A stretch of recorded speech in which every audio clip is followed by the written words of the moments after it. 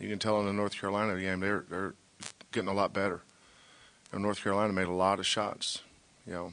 Um, but we have to uh, uh, approach this game um, for us to our strengths and weaknesses because our, our strengths aren't like North Carolina's.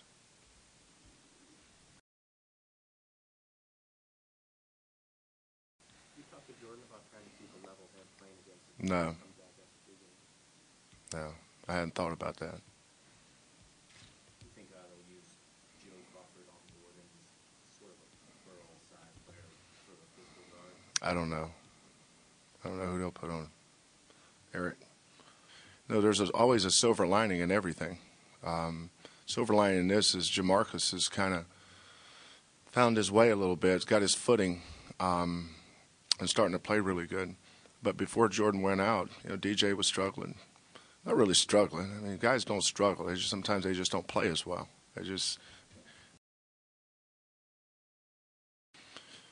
um, it's not like we have a lot of options.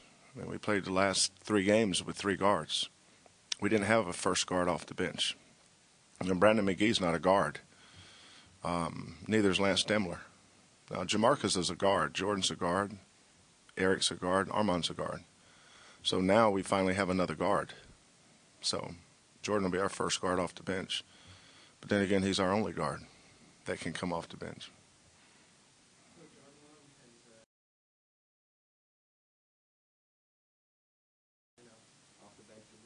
You know, I really haven't thought about that. I haven't. I haven't thought one second about where Ratliff will fit in. He'll determine that by practice. Coach, you know where these games are going to be played in future years. But he's tough. You know, that's where. That's why you never. That's why you don't ever pay attention to where a kid is rated. What's, that's why I, I, I don't pay attention to uh, recruiting rankings or where's our recruiting class ranked or where's this kid ranked. I could care less. You know, um, if you wanted to rank Mike out of high school, he's probably number 580. I'm being facetious because that whole thing's facetious. But I, I think the reason he's playing so good is because he's so good. I'm I'm to take zero credit for that. Um, he's he's a he's really a very mature young man. Works really hard. Um, he's um, he's he's a very quiet kid. Doesn't say a whole lot. Um, I, I think he loves I think he loves playing here. I think he loves his teammates loves his coaches. You can tell it every day when you're around him. Uh, I think he's real comfortable. I think that means a lot to a kid like him. Um, and the other thing I would I would say is, um, and, and and Eric would be if you asked him that question, I think he would give credit to his teammates. Um, I think they enjoy playing with him. Um, you know, he, he has a lot of freedom, but kids like him should have a lot of freedom. There shouldn't be a lot of structure on a kid like him. But he's it's as every game he's played, I think he's gotten uh, smarter on when to attack and when not to attack. He had eight turnovers against Georgia Tech, um, and we sat down and watched a lot of film on when and when not to attack, shot selection, time and score, game management, um, like all freshmen.